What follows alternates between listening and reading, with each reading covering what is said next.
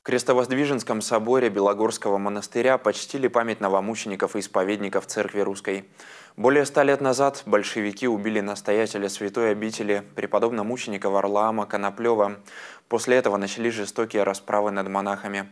Наша съемочная группа съездила в монастырь «Слово Надежде Калининой».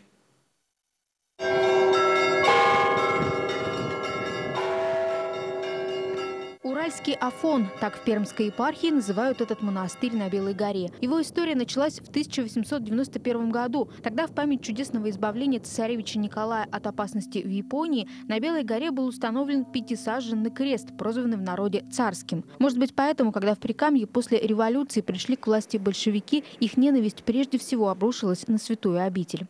Наш монастырь можно по праву назвать тоже царским.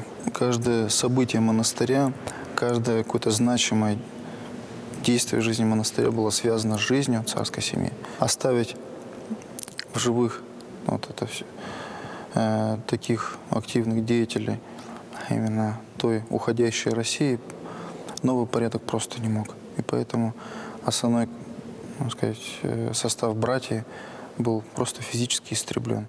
Крестовоздвиженском соборе за вечерней службой, а также за божественной литургией вспоминали тех, кто пострадал в годы гонений. 30 июля 1918 года трагические события докатились и до Белой горы. Арестовали архимандрита Варлаама. Позже он был зверски замучен большевиками, его тело сбросили в Каму. После этого расправы над монахами Белогорского монастыря продолжились. К 4 марта 1919 года монастырь был разорен. 102 насельника были угнаны на окопные работы. В главном алтаре собора осквернили и разворотили престол. Также осквернили и увезли ковчег с мощами. Иконописную мастерскую превратили в театр, разграбили монастырскую библиотеку. В марте 1923 года монастырь был закрыт.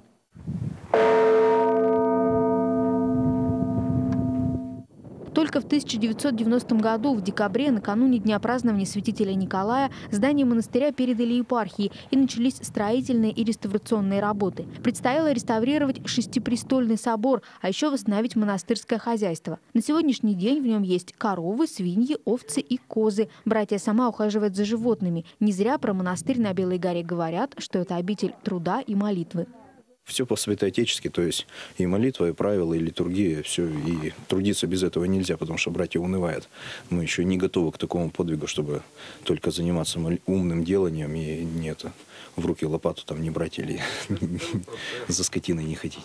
Монастырь на Белой горе – это также и место активного паломничества. Сюда со всего Пермского края и из других регионов едут люди, приезжают и из-за границы. В воскресенье на этой неделе будет отмечаться память собора пермских святых, среди которых также прославлен преподобный мученик Аурлаам, последний дореволюционный настоятель Белогорского монастыря.